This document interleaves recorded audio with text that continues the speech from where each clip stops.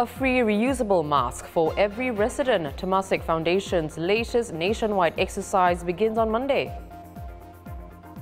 A record-breaking year for HDB flats with 261 changing hands for at least a million dollars.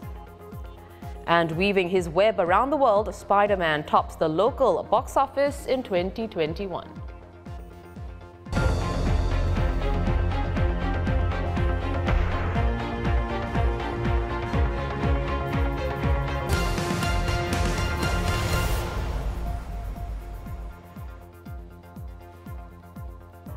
Welcome to The Big Story. I'm Olivia Quay. You can subscribe to the Straits Times channel so you never miss a single episode. For the sixth time in this pandemic, Temasek Foundation is offering every resident in Singapore a free reusable mask, and this is what it looks like. The Mask Pure Air Plus mask, designed by ST Engineering, is more breathable than standard N95 filters and remains breathable even after repeated rinsing. You can collect yours from vending machines island-wide, including in community centres and clubs, and even some bus interchanges. The masks come in two sizes, medium and large, and should fit all adults and some older teenagers. Remember to bring along your government-issued IDs for barcode scanning. Collection starts at 10 a.m. on Monday, January the 10th until January 23rd. A second straight Chinese New Year under COVID-19 with the task force confirming yesterday that current rules will remain in place in view of a likely Omicron wave. Gatherings have been capped at five since November, and households are allowed to receive up to five visitors a day, and visitors should limit themselves to one visit a day. For CNY 2021, every household could have up to eight visitors with a maximum limit of two household visits each day. And even when a family gathered at a restaurant, multiple table bookings were not permitted. Lo Hei had to be quiet without the verbalizing of the usual auspicious phrases. How will restaurants, Chinese restaurants particularly, cope with another Chinese New Year period under COVID-19 rules? Joining me is Mr. Andrew Tjioe, President and CEO of TungLok Group. Welcome to the big story, Andrew. How was TungLok Group affected by the measures last CNY and do you expect to be hit similarly this time around? Well, last year we were able to accept uh, up to eight people uh, in a group, right? But then on the second week onward, there was restriction or news about uh, outbreak. So people started to get worried about their own safety. But this year, I think the situation is quite different because most of us uh, have been vaccinated and only vaccinated people can dine out. So I think the sentiment is quite different this year. Oh, that's good to know. Um, Andrew, aside from, of course, you know, groups of families and friends, restaurants also host corporate gatherings pre-COVID-19. Last year, companies weren't allowed to organize gatherings or activities like Lo Hei. So what has losing this segment of your customers meant for TungLok? Oh, you know, uh, Chinese New Year business is very important to any Chinese restaurant because mm. uh, this is actually uh, the month of festivities, uh, it is not just 15 days. We are talking about three weeks at least. So the celebration start at least one week before the Chinese New Year and plus another 15 days from the first day to the 15th day of Chinese New Year. So that's three weeks. And it is a very important income source of income for Chinese restaurants. Well, Andrew, besides, of course, um, being the CEO and president of TungLok Group, you're also on the management committee of the Restaurant Association of Singapore. How do you see 2022 panning out for restaurants here? Oh, uh, well, I think uh, we, were, we are hoping that the pandemic will soon become endemic. And as mm. uh, the government uh, has uh, keep assuring us that we are still on track uh, to living with COVID, Uh, and uh, I see that uh, F&B uh, scene will definitely recover, uh, but we don't know when exactly it will. But I think we are on track, even with Omicron, you know, making its way to create a problem for us again. uh, the good restaurants in Singapore are still doing well, and you can see there's a chock a block of uh, uh, bookings at the uh, good restaurants uh, around around the island. Well, all the best to you, Andrew, in the new year. Andrew Tjioe, President and CEO of TungLok Group.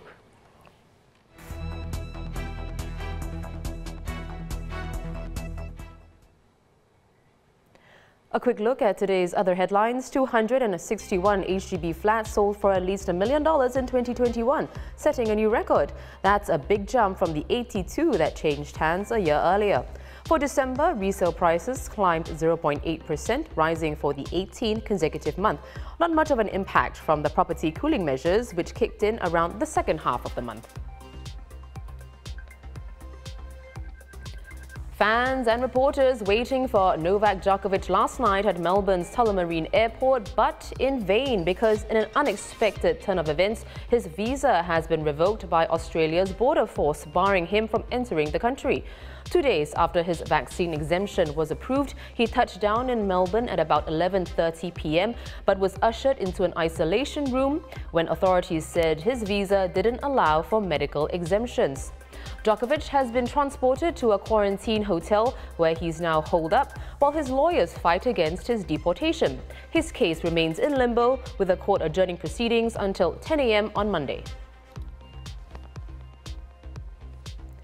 The Grammy Awards postponed indefinitely due to the rapid spread of the Omicron variant. The show was meant to take place at an arena in Los Angeles on January 31st. In 2021, the show did go ahead, but in March, and it included a mix of pre-recorded and live segments in a front of a small, socially distant crowd.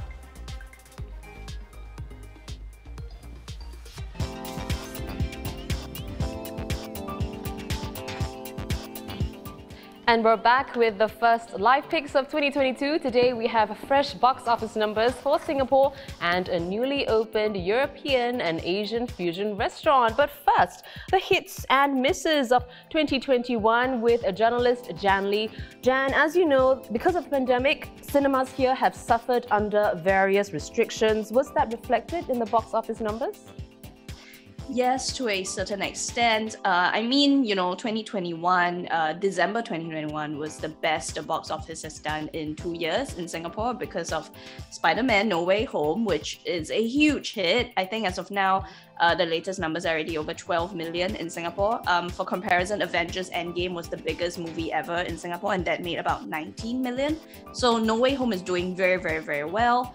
I think as of our count in the story that I wrote, it was at 8.72 million as of December 26. So by that time, it only opened for like 10 days. So clearly, there was huge surge in you know cinema going and interest because of Spider-Man, and hopefully that momentum will carry us through. But as for the other titles, the numbers are not so great, especially compared with like pre-pandemic numbers.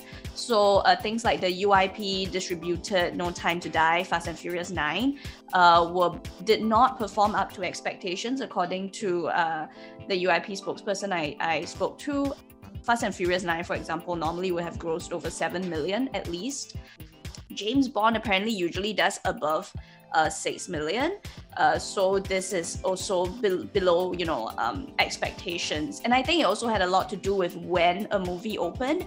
So, you know, comparatively, December when Spider-Man opened, it was a a much more um, i would say the rules were more, a lot more relaxed because we went through two phases of uh, phase two heightened alert in 2021 and during those time, um, dining in was banned so you couldn't have like popcorn or concessions uh, while watching a movie. And that definitely hurt some of the titles. There was also a 50 pax per hall uh, capacity limit without pre-event testing uh, during some of those periods so those movies would have been affected as well. So F9 actually did quite well given that it, perf- it actually was, was screened during that uh, period of 50 pax per hall, if I'm not wrong. So those, uh, you know, titles did well considering the pandemic, but nothing is back to pre- pre-pandemic numbers aside from you know a big title like Spider-Man or a very very big title like Shang-Chi. So clearly the superheroes are still out there winning. Um, also, if you were a smaller film, Asian films, uh, or like a smaller mid-range Hollywood title, because of the um, safe distancing measures that restricted uh, uh, seating, right, the amount of seating you can have in a cinema, uh, the screens just have to be given to the movies that are doing better. So smaller movies that usually might have a longer time or maybe might be allocated one or two screens, while something like Spider-Man is screening might lose out on those screens because of the seating um, limitation. So cinemas will have to give priority to films that are doing better. So you know the the Asian film list was a bit dismal, I think, uh, in 2021.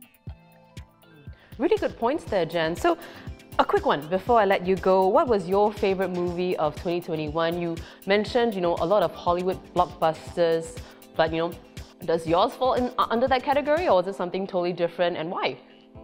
Personally, I think one that I really felt like it gave me the experience of like, wow, it's really special being in a movie theater and it makes such a difference watching it on the big screen. Uh, for me, that was Dune, um, which was the Warner Brothers title. Um, the side, the it's sort of like Game of Thrones in space. So it's very uh, beautifully shot, and um, I thought the sets and the god costumes were all gorgeous on the big screen.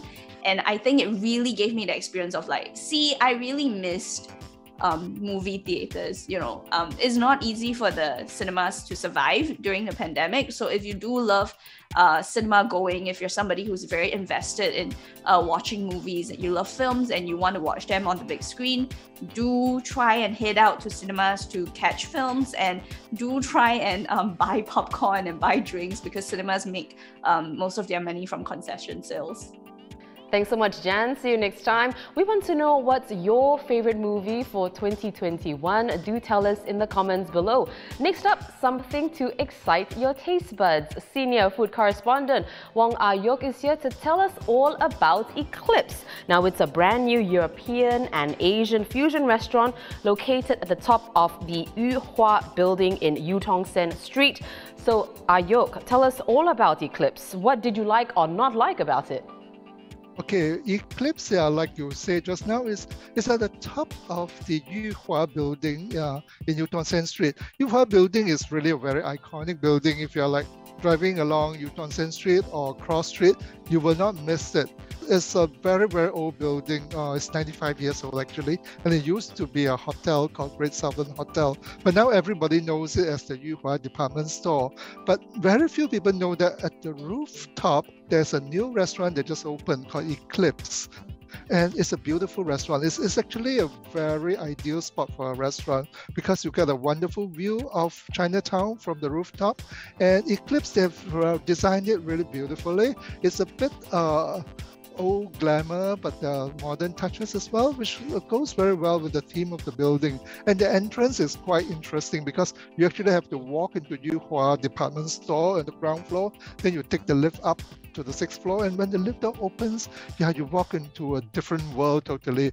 So what I love about the restaurant is really the ambience. It's, it's really special to me. It's like something I've not seen very often in Singapore. This old glamour modern combination, which works very well uh, in this iconic building. The menu uh, is fusion. It's uh, Western with some, I would say, some Singapore touches because they do things like pumpkin laksa soup and chicken breast and green curry sauce. So it's this kind of uh, fusion food, which might be very interesting to someone uh, young who's not exposed to such food and find it a bit novel. But for me, I think it can be a bit more interesting.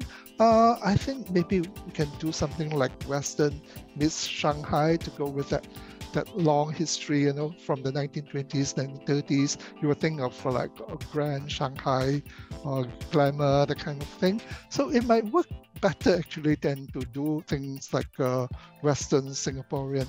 Uh, but yeah, that's just my idea. Well, thanks so much, Ayok. Wong Ayok, the senior food correspondent. If you're looking for more ideas for eating out, how about a seven-course menu at a new Japanese restaurant that Ayok has also reviewed? Check it out in Foodpics at str.sg forward slash live. Visit straitstimes.com for more news and our YouTube channel for more videos. Subscribe by hitting the red button below. I'm Olivia Quay. See you tomorrow on The Big Story.